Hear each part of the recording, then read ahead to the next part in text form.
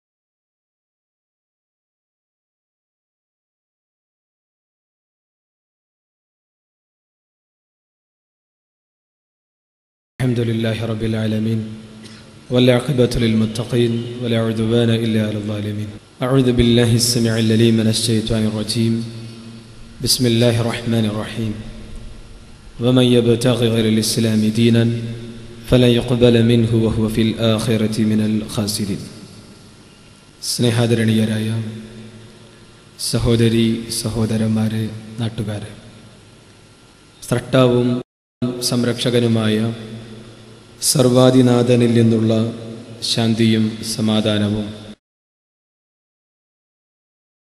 സദാ നിങ്ങളിൽ വർഷിക്കുമാറാകട്ടെ. ഈ സായാഹ്നത്തിൽ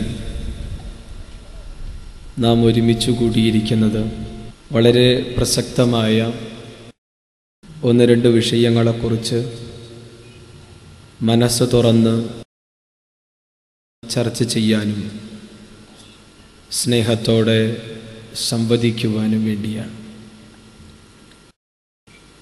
വേദം മതം മോക്ഷം എന്ന വിഷയത്തെക്കുറിച്ചുള്ള ചർച്ചയ്ക്ക് ഇവിടെ തുടക്കം കുറിക്കുകയാണ്. ലോക ചരിത്രത്തിൽ ഏറെ ചർച്ച ചെയ്യപ്പെട്ട ഇന്നും ചർച്ച ചെയ്യപ്പെട്ടുകൊണ്ടിരിക്കുന്ന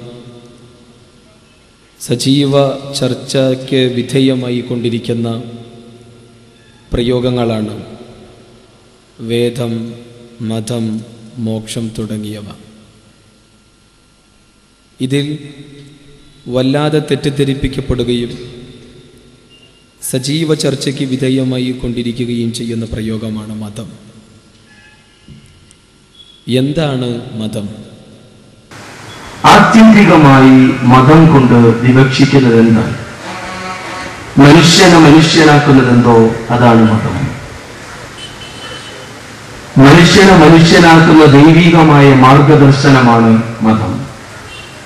മനുഷ്യന്റെ വൈയക്തിക കുടുംബ ദാമ്പത്യ അയൽപക്ക സാമൂഹ്യ സാമ്പത്തിക സാംസ്കാരിക മേഖലകൾ തുടങ്ങി മനുഷ്യ ജീവിതത്തിന്റെ നിഖില മേഖലകളെ സ്പർശിക്കുകയും ആ രംഗത്ത് കൃത്യവും വ്യക്തവും പ്രായോഗികവും മാനവികവുമായ മാർഗദർശനം നൽകുന്ന ദൈവികമായ മാർഗദർശനമാണ് മതം. ജാതിയുടെയും വർഗത്തിന്റെയും വർണത്തിന്റെയും ദേശത്തിന്റെയും ഭാഷയുടെയും പരിധികൾക്ക് അതീതമായി. മനുഷ്യ മനസ്സുകളെ പരിവർത്തിപ്പിക്കുകയും മനുഷ്യ മനസ്സുകളെ ഇണക്കിച്ചേർക്കുകയും മനുഷ്യ മസ്തിഷ്കത്തെ വിമലീകരിക്കുകയും ചെയ്യുന്ന ദൈവികമായ മാർഗദർശനമാണ് മതം. ഈ മതത്തെയാണ് നാം അറിയേണ്ടത്. ഈ മതത്തെയാണ് നാം മനസ്സിലാക്കേണ്ടത്. മനുഷ്യ മനസ്സിന്റെ സംസ്കരണത്തിലൂടെ മാത്രമാണ് യഥാർത്ഥത്തിൽ മനുഷ്യ ജീവിതത്തെ മുഴുവനും വിമലീകരിക്കാൻ കഴിയുകയുള്ളൂ എന്നത് നിഷേധിക്കാനാവാത്ത ഒരു സത്യമാണ്. അതുകൊണ്ട് തന്നെ മതം മനുഷ്യ മനസ്സുമായി സംവദിക്കുന്നു. പലപ്പോഴും ഏതെങ്കിലും ഒരു വ്യക്തിയുടെ യുക്തിയിലെന്നോ ബുദ്ധിയിലെന്നോ ഉരുത്തിരിഞ്ഞു വന്ന കേവലം ചില ചിന്തകളെയോ അല്ലെങ്കിൽ കേവലം ചില വീക്ഷണങ്ങളെയോ അല്ല ഇവിടെ മതം കൊണ്ട് ഉണ വിവക്ഷിക്കുന്നത്. മറിച്ച് മനുഷ്യനെ കുറിച്ച് കൃത്യമായി അറിയാവുന്ന മനുഷ്യന്റെ മനസ്സിനെ കുറിച്ച് കൃത്യമായി അറിയാവുന്ന അവന്റെ പോരായ്മകളെയും ന്യൂനതകളെയും എല്ലാ അർത്ഥത്തിലും അവന്റെ അറിവിനെയും കഴിവിനെയും കുറിച്ച് അറിയാവുന്ന അവന്റെ ഇന്നലകളെ കുറിച്ചും ഇന്നിനെ കുറിച്ചും നാളെയെ കുറിച്ചും കൃത്യമായി അറിയാവുന്ന അവന്റെ വികാര വിചാരങ്ങളെ കുറിച്ചും കൃത്യമായി അറിവുള്ള സട്ടാവ് ലോകത്തിന്റെ മുന്നിൽ സമർപ്പിച്ച ജീവിത രേഖയാണ് ദൈവികമായ മാർഗദർശനമാണ് മതം.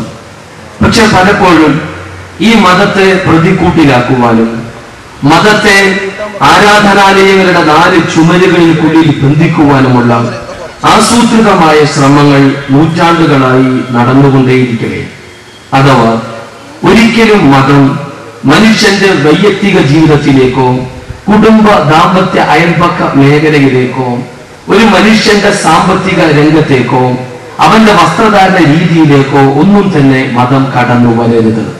മതത്തിന്റെ സ്ഥാനം ആരാധനാലയങ്ങളുടെ നാല് ചുമരുകൾക്കുള്ളിൽ മാത്രമാകണം.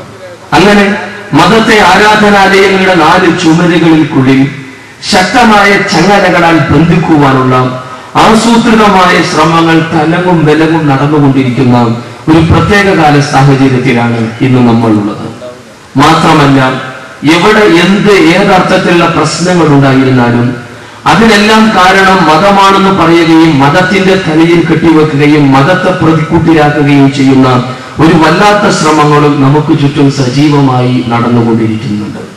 അതോടൊപ്പം തന്നെ സട്ടാവ് ലോകത്തിന്റെ മുന്നിൽ സമർപ്പിച്ച ദൈവികമായ മാർഗദർശനമായ മതത്തെ അതിന്റെ ആവശ്യകതയെ അതിന്റെ അനിവാര്യതയെ ചോദ്യം ചെയ്ത് ആ മതത്തിന് പകരം ശാസ്ത്രത്തെ ലോകത്തിന് പരിചയപ്പെടുത്തിയവരും ചരിത്രത്തിൽ കഴിഞ്ഞു പോയിട്ടുണ്ട്.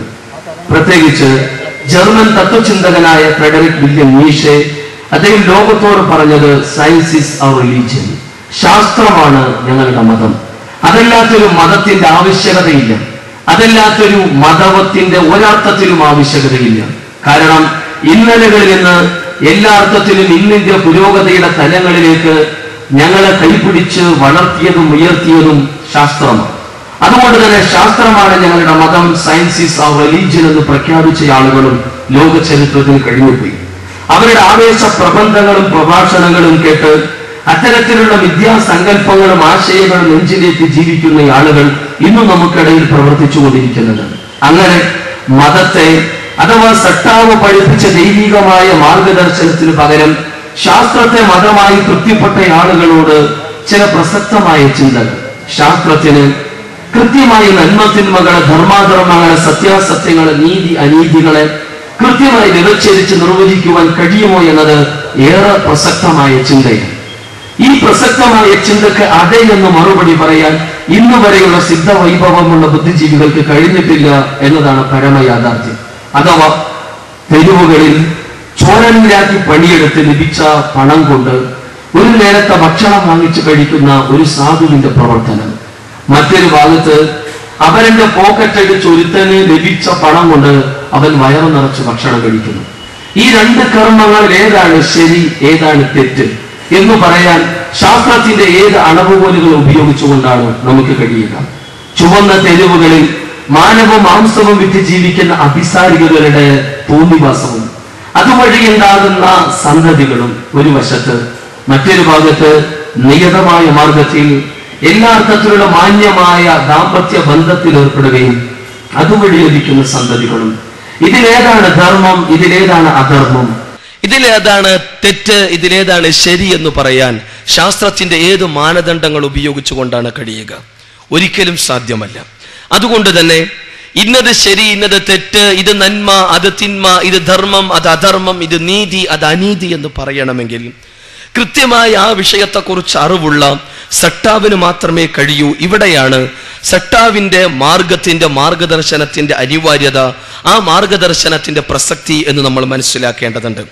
അതല്ലാതെ ഏതെങ്കിലും വ്യക്തികളോ അതല്ലെങ്കിൽ ഏതെങ്കിലും ഒരു കൂട്ടായ്മയോ അതുമല്ലെങ്കിൽ ഏതെങ്കിലും ലോകത്തിന്റെ വിവിധ കോണുകളിൽ ജന്മം കൊണ്ട ഒരു പരിധിവരെ ജനങ്ങൾക്ക് ആവേശം നൽകിക്കൊണ്ട് കടന്നു വന്ന ഏതെങ്കിലും ഭൗതിക പ്രത്യയ ശാസ്ത്രങ്ങൾക്കോ അതിന്റെ ബുദ്ധിരാക്ഷസന്മാർക്കോ നന്മ തിന്മകളെ ധർമാധർമ്മങ്ങളെ സത്യാസത്യങ്ങളെ വ്യവച്ഛേദിച്ച് നിർവചിക്കുവാനുള്ള അധികാരവും അവകാശവും നൽകിയാൽ അവർ മുന്നോട്ട് വെക്കുന്ന വീക്ഷണത്തോട് മാർഗത്തോട് മാർഗദർശനത്തോട് പൂർണാർത്ഥത്തിൽ മാനസികമായി യോജിക്കാൻ നമുക്ക് കഴിയുമോ എന്നതും ഏറെ ശ്രദ്ധേയമായ ചിന്തകളാണ്.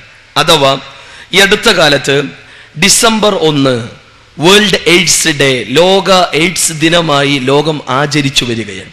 അതിന്റെ ഭാഗമെന്നോണമുള്ള ആ രംഗത്തുള്ള ബോധവൽക്കരണ പരിപാടികൾ ലോകത്തിന്റെ വിവിധ കോണുകളിൽ സജീവമായി കൊണ്ടിരിക്കെ എൽട്ടൺ ജോൺ എന്നൊരു ബുദ്ധിജീവിയുടെ നേതൃത്വത്തിൽ ഡിസംബർ ഒന്നിന്റെ ഭാഗമെന്നോണം അവർ ഒരു പ്രദേശത്ത് ഒരു വിശാലമായ ഓഡിറ്റോറിയത്തിൽ ഒരു പ്രോഗ്രാം